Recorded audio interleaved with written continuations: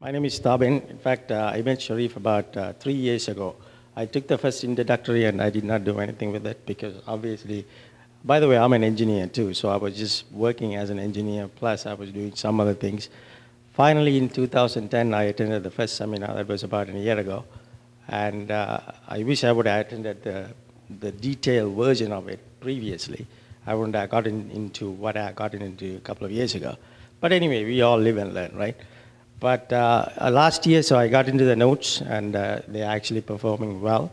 I also sold two notes on an assignment basis, and also I'm in, in the Mixif fund as well. The good thing about Cherif is, anyway, thanks a lot, Cherif, I mean, for your information and, and, and also the sincerity and the honesty of your business.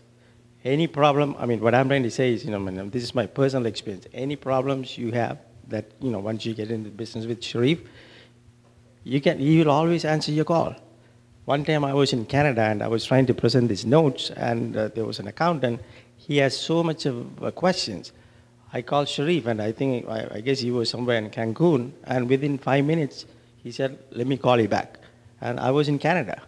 That's how he is. I mean, this is actually, he did it. I'm not just making things up. Thanks a lot, Cherif. I really appreciate it. Thank you.